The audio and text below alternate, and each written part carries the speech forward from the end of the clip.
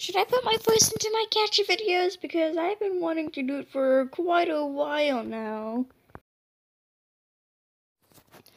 Comment below if you want my voice to be in gacha videos.